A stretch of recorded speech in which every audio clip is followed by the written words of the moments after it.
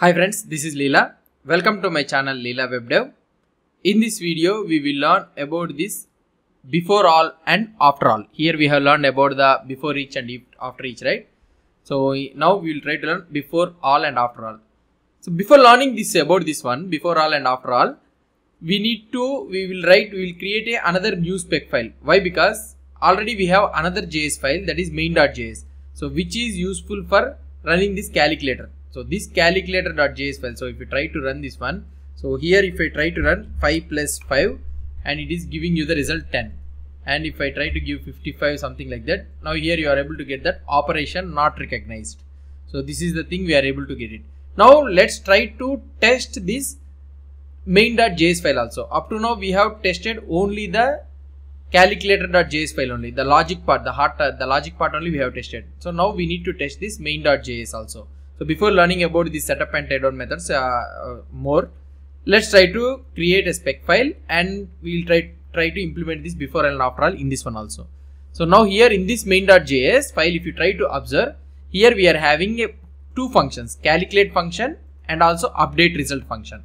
And this one is an event listener so which will event which will listen to the event change event for the input box. And here if you try to see this calculate function this is the calculate function and here this is an update result function. This update result function what it will try to do? So it will try to update the result in the DOM in the DOM. That means it will take the div with an ID result and it will update the result in that DOM element. Okay so this is the function. This function is update result. And if you try to see this calculate function this calculate function is responsible whenever you uh, whenever the whenever we have written the text in the te- text box so it will take this one and it will try to calculate it. Appropriate calculation it will try to make it. So what is the thing it is trying to do? It is taking the input value and it is taking the expression and it is here validating the expression. So if it is nan uh, number b operation is there or not it is validating the expression. Here we can write that expression not recognized. Instead of operation not re- expression is not recognized. That means whatever the expression they have written in the text box it is not recognized. So after after if the expression is recognized so first one is taking the expression and validating the expression. Okay? And another one is operation. So it is trying to create a new calculator and it is uh, adding the calculator number a. And here we are having a switch operator so that it will try to see a, uh, appropriate addition subtraction multiplication and division. So it will see all these things. And the last one is so whatever the uh, calculation that has done it will update the result here so now here we can also see that for example plus minus star slash. If we, if any of this operation is not there means so what can I do here? So default we can write here and I can update the result is equal to here it is operation not recognized. So we can write operation not recognized. Okay? So this is the operation not recognized. So this is the thing. So now here we are having three things nothing but first one is expression validating the expression and checking this calculator addition subtraction multiplication and division whether it is going to the appropriate method appropriate logic or not and also operation not recognized thing validating the operation and also updating the result. So these are the three things we are having. In this function we are having update result. So let's try to implement this one. So now we need to create a spec file for this main.js file. So how can i create it? I will create new file main.spec.js so it should be adjacent to this main.js file so that we can get, we can recognize that this is the test file for this main.js now what we need to do we need to create a suite so now i am creating a suite test suite so that is for the main.js file. And here i will create a function. Okay? So this is the thing. And the another one what we need to do here after creating this one.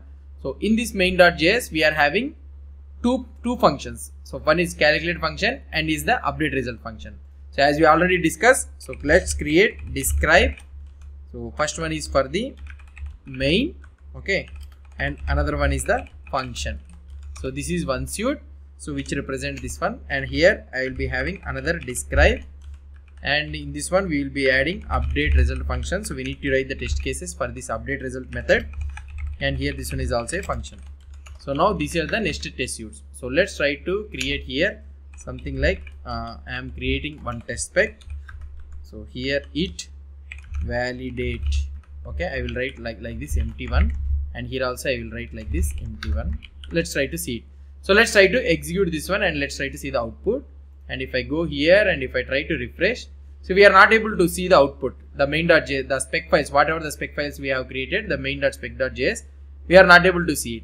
What could be the reason here so the reason is nothing but we need to add it in the specrunner.html file. We need to add the reference in the specrunner.html file.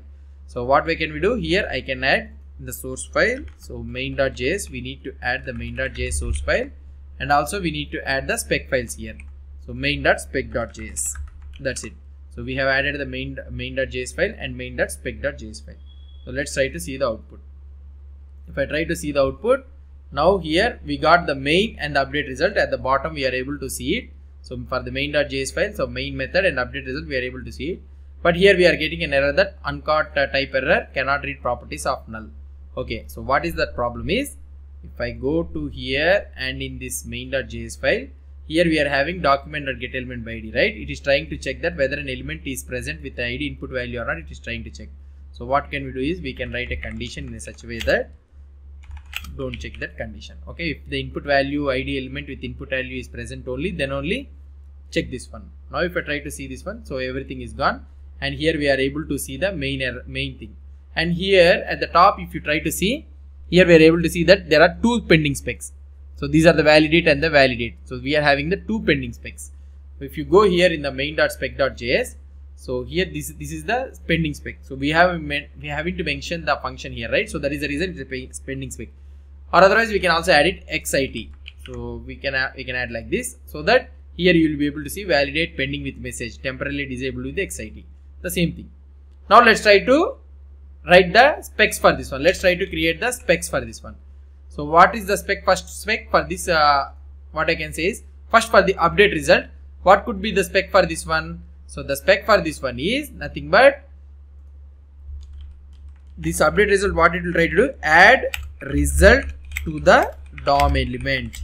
So this is the spec it will try to do. So this is the spec. So what is this update result will do? Update result will take the result uh, element and it will try to add it add it the result to the inner text to the DOM element. So this is the update result. So that is the spec file we have created. And here in this main in the calculate let's try to see it. So it is taking the expression first okay?